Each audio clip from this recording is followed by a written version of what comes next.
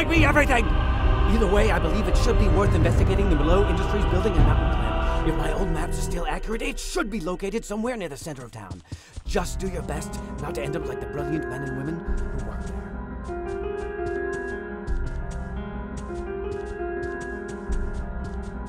Great. Mountain Glenn. Again.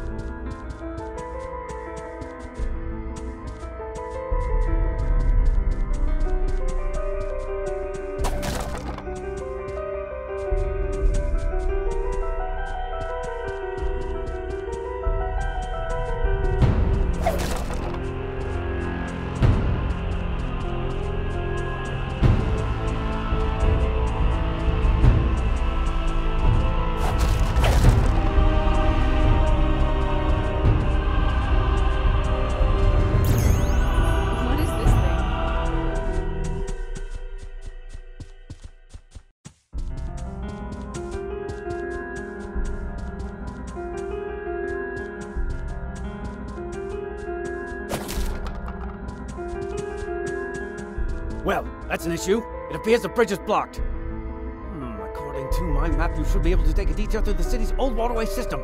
Wonderful.